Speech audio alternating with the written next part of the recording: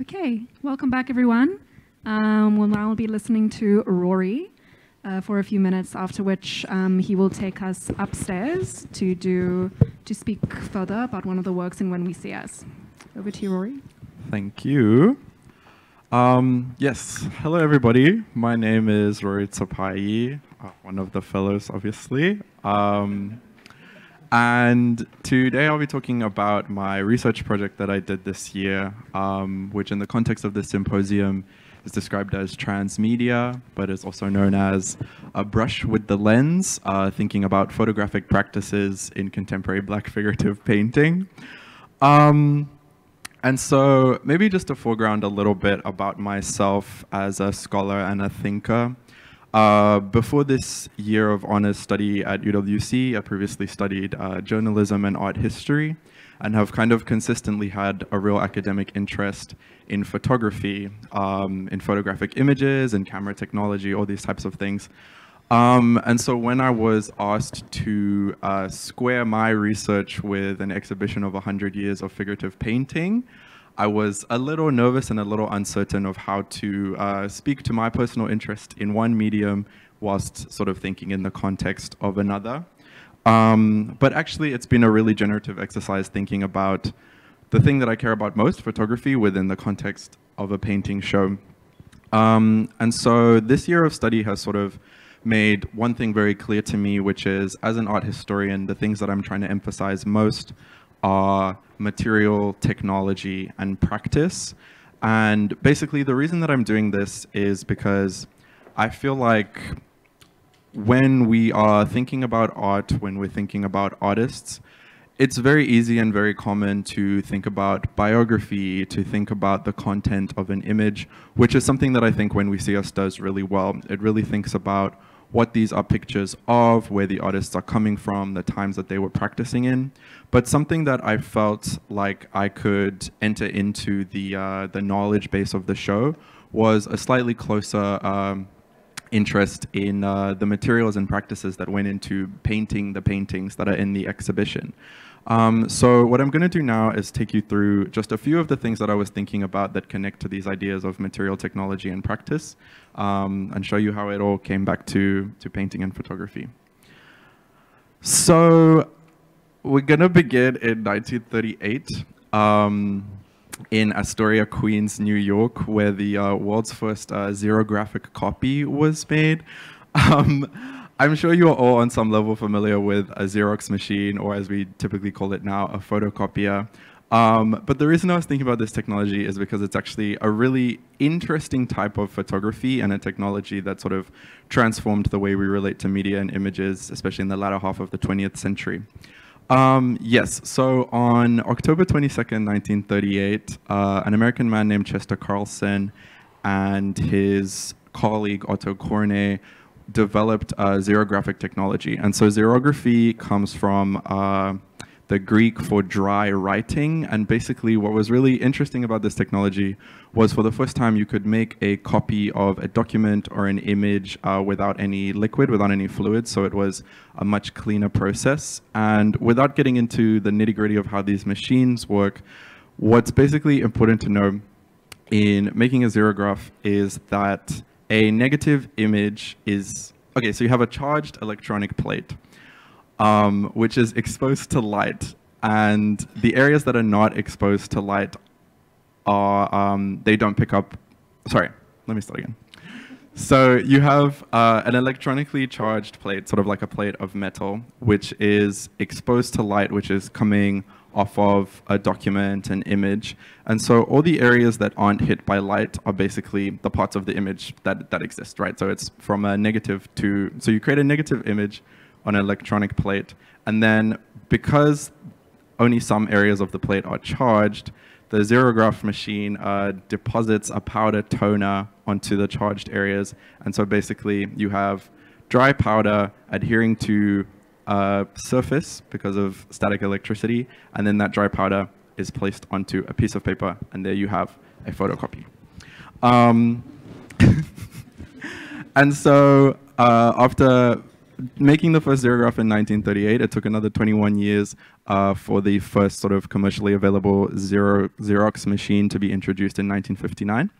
And that's what you see there on the right-hand side. And basically, this technology really revolutionized the workplace, but also sort of people's day-to-day -day relationships to copies, reproducibility, images, all these types of things. And the only reason that I'm getting into this very specific machine history is because there is a really fantastic Nigerian American artist named Njideka Akunyili Crosby, who is not only featured in When We See Us, but also uh, in Zeitz MOCAA's collection show Two Together. We have one of her paintings up there too. And so one of Akunyili Crosby's sort of signature practices is what is the Xerox transfer. And so the way that a Xerox transfer works is once you have a xerographic copy or an image, you soak it in acetone, place it face down on another piece of paper, and you burnish it or you rub it so that basically that dry toner powder that I mentioned before is uh, aided by the acetone is able to be transferred onto a piece of paper. And so you're able to make a copy. And so the thing that I was thinking about here is you have, on one hand, the technology of the Xerox machine, which kind of automated copy making and sort of heralded in a new age of technological reproduction, wherein the labor of making a copy and of making an image was sort of reduced to just the pressing of a button. And so what I'm then interested in is how Njideka Akunyili Crosby kind of brings back the manual labor and the hand into this gesture by using these xerographic transfers. And so you have a machine-made image that is now being turned back into a manual image. And something that I was thinking about in terms of when we see us is why painting? What is a painting show? What is a painting? And I came to this idea that I think Xerox transfer can really be framed as a type of painting, right? Because sort of at its base, like with all painting, you have a powder pigment being suspended in a solution, being worked by the human hand to create an image, right? So even though it feels a little bit distanced from dipping the paintbrush into the palette, it is, as I'm understanding it, a very similar gesture. Um, and so it's this really interesting moment of returning the hand and returning manual labor into photography and into copy making, which are increasingly automated practices. Um, furthermore, Njideka Akunyili Crosby is an artist who's really interested in photography in general and does a lot of really interesting work thinking about photographs as they are able to contain uh, personal and public memory. So what you see on the left here is a detail from predecessors number three, uh, which is the work that's in the collection show right now. And basically, can I go forward? That's the full painting on the side. And so this is just a small detail of the painting, but it's a hand-transferred photograph of a photograph made to look like a photograph in the space of the painting, if that makes sense.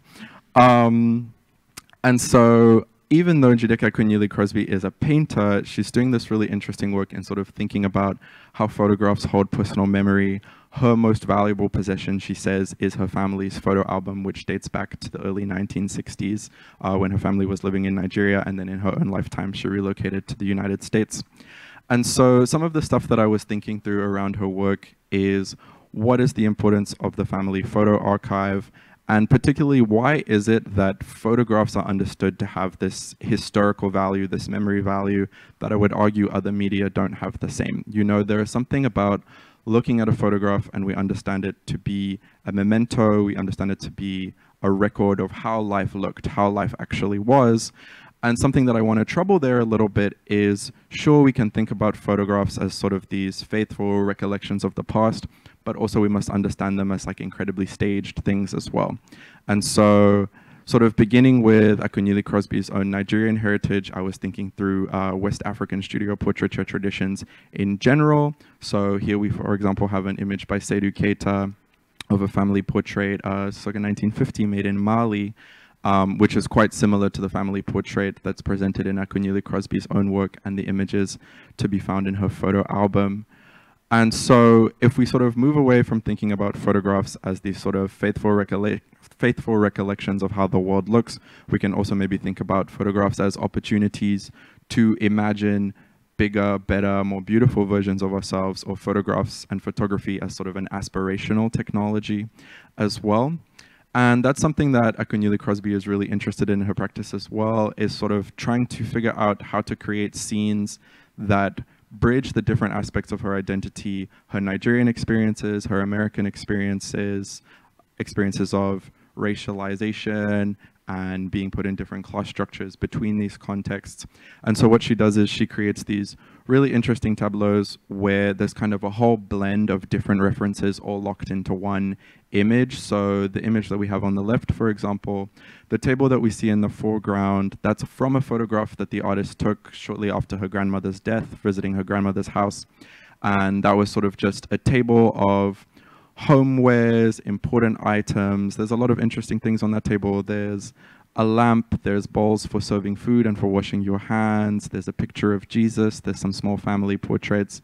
But then in the background, uh, the table and the couch the, and the rug are the artist's way of referencing some of the uh, more American aspects of the domestic space and sort of uh, this like mid-century modern aesthetic and all these types of things.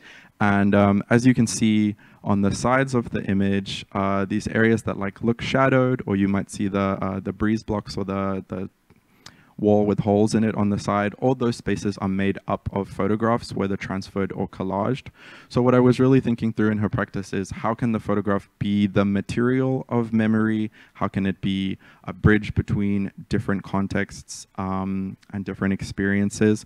And how is it also implicated in this work of sort of self-presentation? And even though there are no sort of explicit figures in the Akunyili Crosby work shown here, of course there are, uh, there's a clear figure in the one in When We See Us. I was also trying to think about how can we think about a work like that as something figurative and in relation to work by the Ghanaian photographer Philip Kwame Apagya, who uh, has made this like really charming and uh, quite famous series of photographs um, in his studio in Accra, where basically he had a selection of painted backdrops of domestic spaces, airport runways, nightclubs, mansions, all sorts of sort of aspirational spaces where for a very small fee you could come in and take a photo and for a moment sort of pretend that you were part of a lifestyle that you don't actually live. And I thought it was very interesting that in order for Kwame Apagya to create that illusion, he turned to painting to sort of bolster his photographic imagination. So this was just sort of some of the stuff that I was thinking through in terms of trying to draw connections between two media that at the start of the year, I was unsure how they might gel together. Um, but another important part of this year of fellowship has been working in the registrar's department uh, under the fantastic registrar Lee Burgers. Um, and so a lot of my work this year has actually been incredibly rewarding because it's been really hands-on work. And so in August, I was lucky enough to uh, inspect and condition report three paintings which are in the Zeitz collection, three paintings by the South African artist Neo Matloga, who is also featured in When We See Us. Um, and obviously, you know, if someone's thinking about painting and photography, Neo Matloga is a good person to go to um, because one of sort of the hallmarks of his practice is he creates these collage paintings with the collaged elements being snipped pieces of, of photographs of black figures.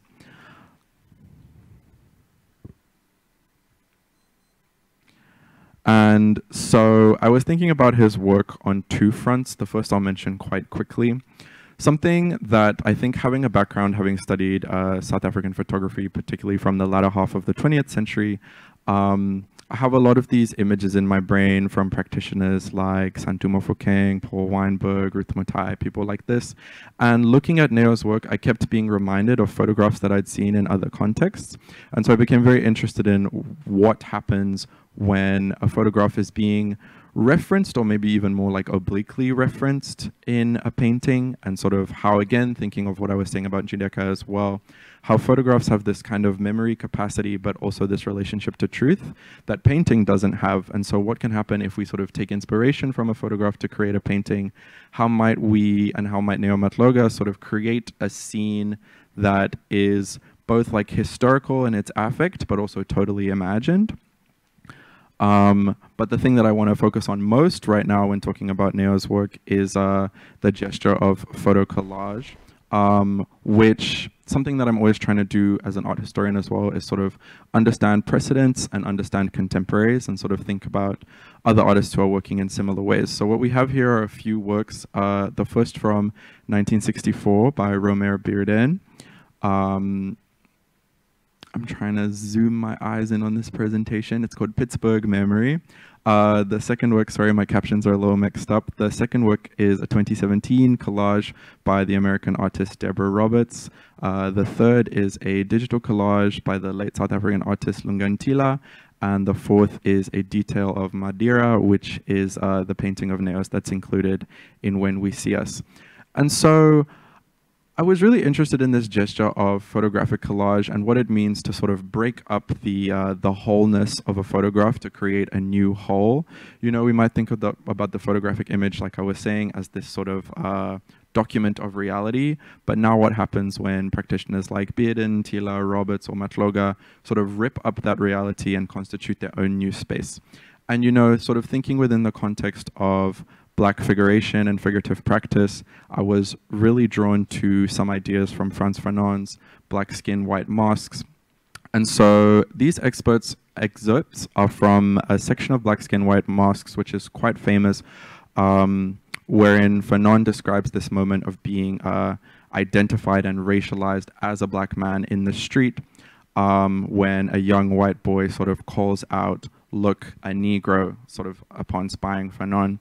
And this is sort of a, a mind explosion moment in which he sort of comes to realize that no matter who he is in the world, he is sort of overdetermined from the outside by his blackness. So he writes, I was responsible not only for my body, but also for my race and my ancestors. I cast an objective gaze over myself, discovered my blackness, my ethnic features, deafened by cannibalism, backwardness, fetishism, racial stigmas, slave traders, and above all, yes, above all, the grinning Y a bon Banania. I am overdetermined from the outside. I am a slave not to the ideas other have, not to the idea others have of me, but to my appearance. And then slightly later in the text, still talking about this moment, he writes, My body was returned to me spread eagled, disjointed, redone, draped in mourning on this white winter's day.